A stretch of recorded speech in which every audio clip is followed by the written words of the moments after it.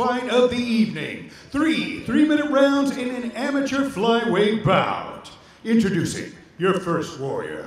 Fighting out of the blue corner, this man's a mixed martial artist making his amateur debut. He stands 167 centimeters tall and weighs a ready 56.8 kilograms. Fighting out of Lebanon, please welcome Wissam Sandakli!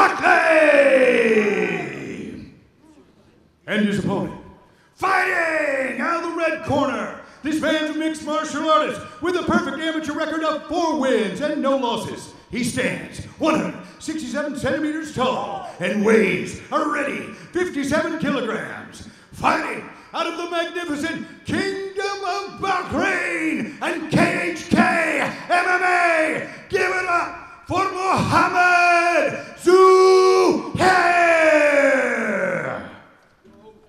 Wissam in the blue corner, Mohammed Zuhair in the red. We are underway. This flyweight contest scheduled for three three-minute rounds. And even just in that opening exchange, you can see the heavy hands, but the KHK man marauding forward, catches Sandakli with a nice shot.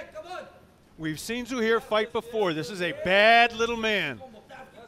I've got to say the confidence though of Wissam, even on the walkout there of Mohammed, he was taking in everything, big deep breaths, really enjoying this moment, this debut here, and it's a big debut against a highly touted young talent in Mohammed Zuhair. Those kicks are absolute money in the bank, but there is that beautiful KHK style. Use your strikes to set up the takedown, and from here I expect to see some serious work from Zuhair. What an entry on that takedown. Mohammed Zuhair. Double leg, turned the corner, took it to the mat. Wissam now on his back. We know his striking prowess, Phil. You've talked about that Muay Thai background, the kickboxing background. But you have to be a complete fighter in mixed martial arts. And we're going to learn a lot about his ground game right now as he's on the bottom against Mohammed. There's a little bit of a debate in mixed martial arts. It used to be when you took somebody down, you wanted to press them up against the cage so they couldn't use their guard effectively. But now fighters have developed being able to use the cage in order to stand up. Some fighters prefer to actually be off the cage. We're getting a little view now on what our KHK fighter chooses, and he does seem to want to have his man up against the cage so he can press him against it, nullifying the guard and raining down shots. He's doing a beautiful job of just neutralizing his opponent right now. He's happy to sit in that anchor position, the half guard that we're seeing popularized a lot more in MMA. Fighters seem to be happy to sit in the half guard posture, land strikes from there, and that's exactly what he's doing, Brian. Yeah, and you saw as well there from uh, Wissam, he was trying to get his back to the cage, but every time he set that post, it was taken away from by Mohammed. Strong opening start here from Zuhair. Almost a minute left in this round. And he's almost triangles the legs there again, solidifying the position. He's what I love that he's doing. He's calm. He's not taking any unnecessary risks. He's solidifying a position and then working from there. Very intelligent mixed martial arts. And Ki Kirik, when you are in this bottom position under this sort of pressure by somebody who knows how to apply that pressure in the right places, it's, it is literally like drowning. This is what you're seeing is the evolution of martial arts. Mixed martial arts was born from Brazilian Jiu-Jitsu. In Brazilian Jiu-Jitsu, the bottom half guard is the single most productive position you can be in. It's where the most points are won. It's the opposite in mixed martial arts. It's basically being half mounted, if not worse. Some space being made there from Wissam, but straight away, back on top, into the guard goes Mohammed. Big shots coming down, Phil. And from inside the guard, he's throwing big shots. He's happy. Just Oy, big left, nice. May try and swing the legs here, but Wissam really needs to do everything. He needs a little bit, a, a, greater degree of urgency, Brian. Get that back to the cage, and it's it's easy for me to say in this position sitting here, but I'd like to see a little bit more urgency. Get the feet on the hips. Try and make something happen. Shift the hips. Throw up even the threat of a submission. Round one in the bank. And what we have learned there, Kirik, is there is a very obvious game plan, and he imposed it back at Brave 45 against Ali Abhamda. And he's imposing it once again against Wissam. What does Wissam have to do now to avoid that takedown? Because the entry came from so far away.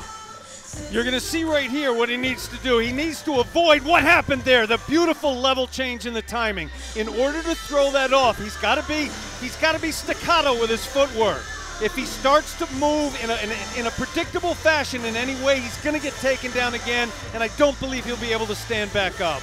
And you have to say it's got to be more of the same from Mohammed Zuhair's corner. They've got to be happy with what they've seen in those first three minutes. Oh, without a shadow of a doubt, it's pretty much lather, rinse, repeat right now for the young man. What he needs to be wary of is a potential of the, the likes of an uppercut when you're shooting from so far away. Now, it was a beautiful takedown, turned the corner expertly, but if, if Wissam or his corner get wise to that and he has a, an uppercut loaded, it could be very dangerous.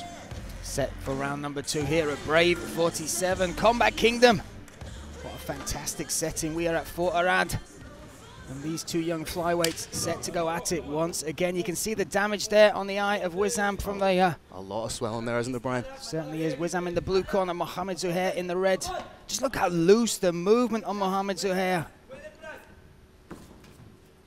Almost baiting him in. You can tell that he's going to look to change those levels and get it back to the mat as soon as he can. There you go.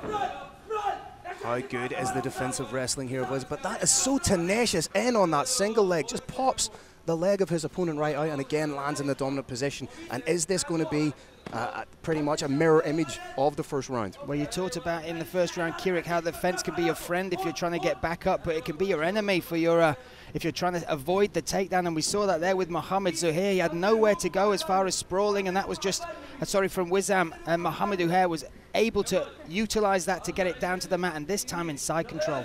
Wissam wants to go elbow, knee, hand, foot, and try and drive himself back up to standing where he's going to be able to acquit himself better. Ooh. He has not been able to so far. He's getting into deeper and deeper water. They Those knee knees, shots man. are going to have an effect. Look at the way they're coming back, Phil. You, you made the noise. Imagine what they feel like, the torque on those knees coming down from Mohammed Zuhair. And look how intelligent the hips are here of Zuhair. He, he felt uh, the, the little bit of movement from his opponent. He switched the scarf. Very, very smart.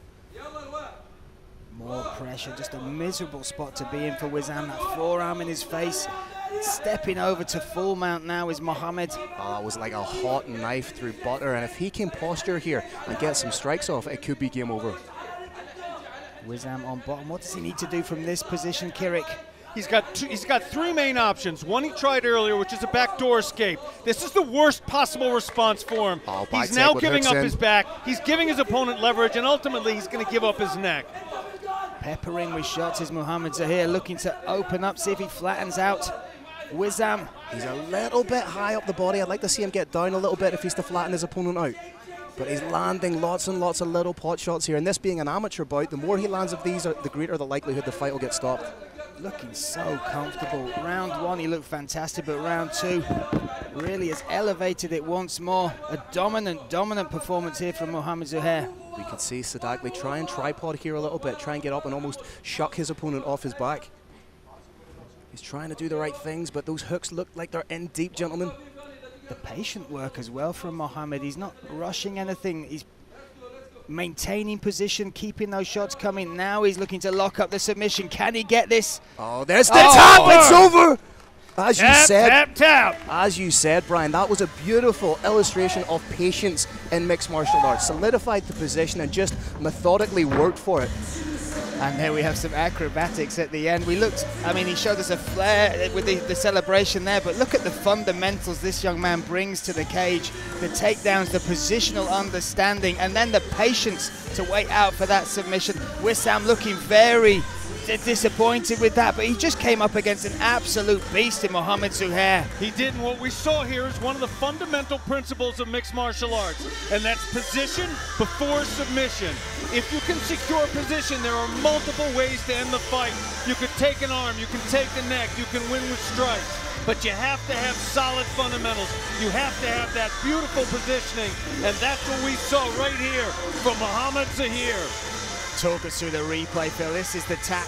What, what, what you didn't see there was, was how he transitioned to that. So he took the back beautifully. He landed some beautiful little pot shots to loosen up the opponent, gets the rear naked choke, elicits the tap, and moves to 5 and 0 as an amateur mixed martial artist. And not a mark on him. Look at how fresh that young man looks.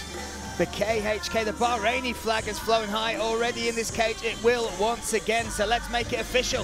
Let's hand it to Carlos Kramer. All right, Brave Nation, another exciting bout. This one is stopped at 2 minutes and 43 seconds of the very second round. Your winner by rear naked choke